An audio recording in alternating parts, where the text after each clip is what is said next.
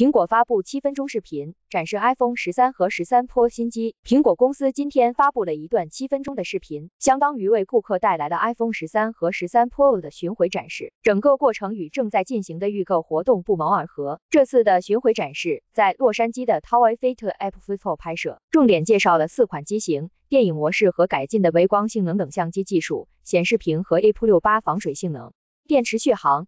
Motion 的特性，找到适合你的 iPhone。让我们浏览一下新的 iPhone 十三 mini、iPhone 十三、iPhone 十三 Pro 和 iPhone 十三 Pro Max，探索令人难以置信的新功能、尺寸和颜色。